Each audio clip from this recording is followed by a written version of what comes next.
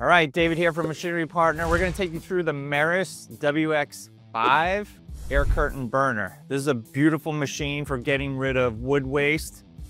So basically this customer has a problem dealing with stumps and wood waste and he wants to do it in an environmentally friendly way. This machine burns with no smoke. It's Title V approved and it's a great machine for disposing of waste of this nature. And look, very little maintenance. Small engine, super efficient. You don't have wear parts that you have to manage. Uh, and it's a very economical, smart way to get, get rid of uh, this type of material. And it's innovation that hasn't really come to the US yet. And Machinery Partners helping to do that. So let's take you through the machine. All right, what you have here is a Merris burner. You can see it here. We're gonna start with how it works, right? So the way this machine works is this fan right here creates high velocity air and it comes through this diffuser and it gets blown across the top of this chamber. Let's go in front of the chamber here. So this diffuser is creating a curtain of air and the burn happens in the burn chamber. The burn chamber has all of the material that you're putting in here. You can see we did a burn last night and we have uh, the leftovers of that. But the air comes off of this diffuser, hits the wall, and it creates this curtain above that captures all the soot, all the smoke, all the particulate, and then it creates this vortex and it feeds the fire. And this thing gets really hot. You can see it's lined by these ceramic panels that keep the heat in, uh, and this is where the burning happens. On this model, we have a hook lift system built into the machine so that it can be moved around easily on just a roll on, roll off uh, truck. All right, so you can see the hook lift here. It's got rollers. There's plenty of D-rings for moving it. One of the things I forgot to mention is one way to extend the burn is to dig a trench underneath so that the burn pile can go lower and you're cleaning it out less. So that's just a best practice. That's a pro tip to just dig out uh, a trench so that you can put let your ash and all of your uh, carbon and, and, leftover coals just stay there and you're do, spending less time pulling out the material. The other way you can do it is you can just drag the machine to, off to the side and you can get in there with your excavator as well. The way to load this, I should just say that, best practice for loading is using the thumb on an excavator so you can place the material in. Let's move down here and show you how, what powers this thing. It's a very simple machine and what we have here is a Yanmar 25 horsepower engine. Very simple. You've got your throttle, your key start, and then your clutch to engage the fan. So this is a belt drive with a clutch that drives this fan here. You can see your diesel fuel. We ran this for 10 hours last night and we only went through half a tank of fuel. Very efficient. Once that fan gets going, it's a very efficient machine and it's very simple, right? So high quality machine. You got Yanmar uh, engine. For maintenance, you got your oil, you got your oil filters, you got some grease points on, on your clutch coupling. Uh, you got a fuel filter here. Very simple. That's the beauty of this. You're not running hundreds of gallons of diesel like a horizontal grinder or tub grinder to get rid of this stuff and plus all the material is gone at the end of the day.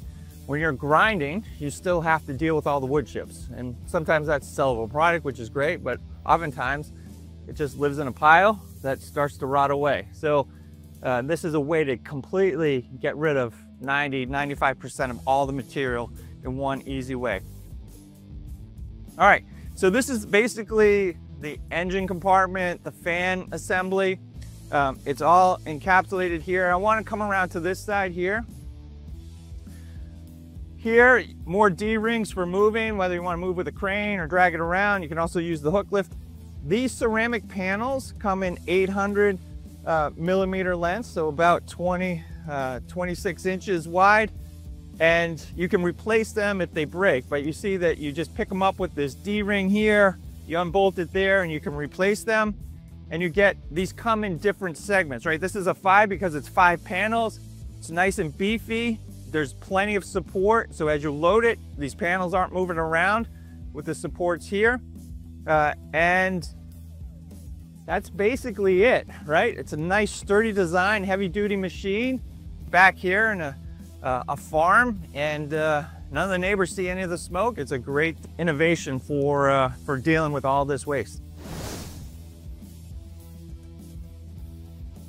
You set it on your automatic grease gun? Yep. So you set two right there? Set it to two, pull the trigger, that's two pumps. And you're doing that every 20 hours? Every 20 hours. All right, how many grease fittings do we have on this There's machine? five total. So you have three on the clutch mechanism here. You have one down here at your handle for your shaft, two up top for your bearing, and then you have one under each of these caps back here for your main bearings into your fan. Nice.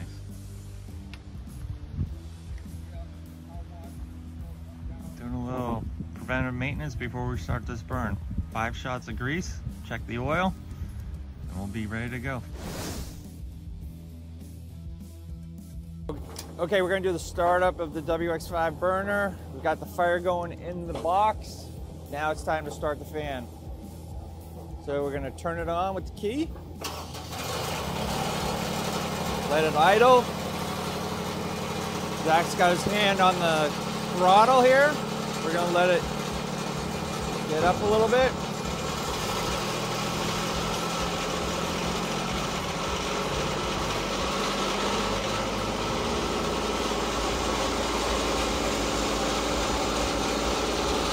And then this is the clutch, this is to engage the fan. There's a lot of pull on the engine to get the fan going, the inertia of it. And now we're getting the fan going. So we got the operator loading stumps. We're just getting it fired up. I'm gonna climb up. We're gonna look down. The fan's starting to go. We haven't got the burn fully going. So the way that this all starts is get the fire going, let it start to burn, let it catch with some dry wood, fire up the engine, and then we're starting to get the curtain going. Got to heat up. Once it gets nice and hot, we'll start to see the smoke go away. Here we are, loading up the Merris WX5.